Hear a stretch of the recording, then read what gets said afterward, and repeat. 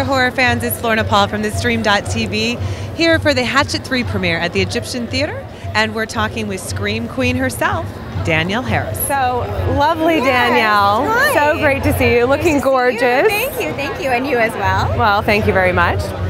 So everybody knows you as the Scream Queen. Yes.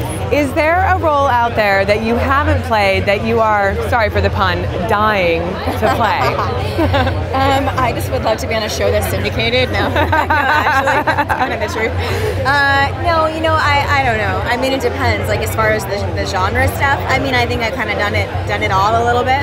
Um, a romantic comedy would be a lovely break. Maybe on the beach somewhere fantastic, you know.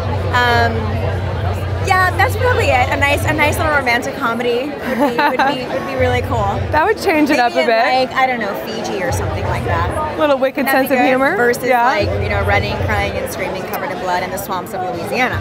Now I know what you were talking about when I needed a sneak peek. Lots of yes, blood. Lots of blood. More than I think yes. I've ever seen. I did a yes. lot of screaming. Yeah, you did. Oh, good. And jumping. It's good. Good. good. I did. But it's still good fun too. You know, it's like it's not. I mean, all, that stuff is so big, like you can't take it seriously. It's like last year when the movie was pulled from theaters, or they didn't want to give it. Excuse me, they didn't want to give it like a certain rating because it was so gruesome. But yet you have movies like Saw and Hostel and all these like really hardcore movies that actually go to theater and get an R rating. It's kind of crazy. These it, movies are fun. It was fearful know? fun yes. and it was, you know, you all got some serious mouths on you down there in the South. I know, right? Finally, I get to talk shit in this movie. Favorite line in this oh, movie?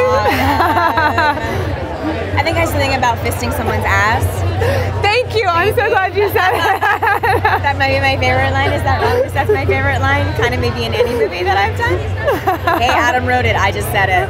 That wasn't me. It was in the script, right? It's in the script. Yes. I wondered yes. about that. I was like, did oh, Danielle yeah. have a oh, no, bad no, day? that clever. no, that's all Adam Green. So another question: What yeah. do you think makes a killer iconic? From the Victors to the Freddys to the Jasons. Um, I think it's kind of luck of the draw. You know, it's really hard to create a new monster because everything's kind of been done before.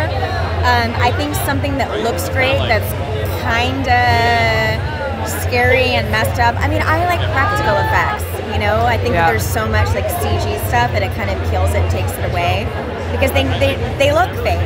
Right. So I think that Victor is kind of real, and Kane brings this, I guess, this presence. So I, you know, I don't know. There, it's hard because I'm friends with all these guys right. that play killers. So I, I don't want to insult one of them by saying that the other one is better than the other one. But I mean, all the Jasons, all the Freddys, all the Victors, all the well, there's only one Victor. Yeah. And there's really only one Jason. I mean, Derek is Jason, but right.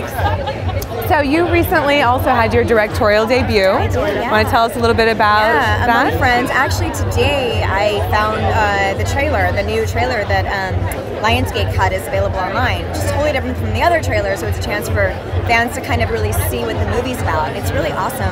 Uh, we have an end of uh, I forget the date. I think it's the 17th of August is the release for the DVD and video on demand. So I'm really excited. It's fun. It's kind of like a messed up kind of chick flick, but not really a chick flick. Um, just a lot of chicks made it, so that's why I think it's chick flick. You know, it's got boobs and it's got some drugs and it's got some lesbian action, some you know threesomes. They're buying tickets now. All the stuff that makes for a good movie. Very cool. So, is there any little sneak peek into Danielle, something that your fans don't know? God, I'm kind of an open book. So I feel like they probably know more than they should. At least they follow me on Twitter. They know what they know what my dog does on a daily basis. Um, I don't know. Um, I'm just pretty normal, I guess. That was but they don't maybe they don't want to hear that I'm normal.